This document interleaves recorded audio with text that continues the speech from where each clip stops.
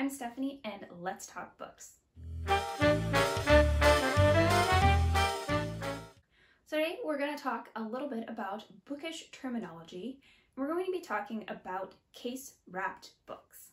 So the simple definition of a case wrapped book is a book where the cover is printed directly onto the hardback and it does not include a dust jacket.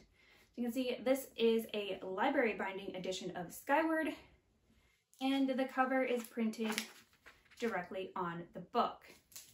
Whereas you can see the regular US hardcover has a separate dust jacket that covers the naked hardback here.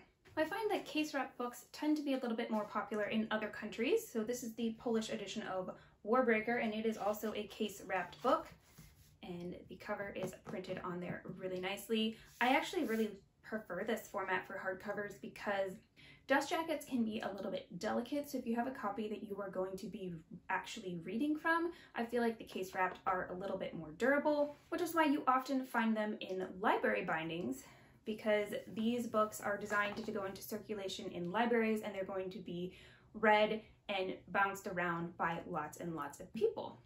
Other Sanderson editions that you might come across case wrapped are these cute little mini hardcovers from Gollancz, who is the UK publisher. And they make really cute little editions.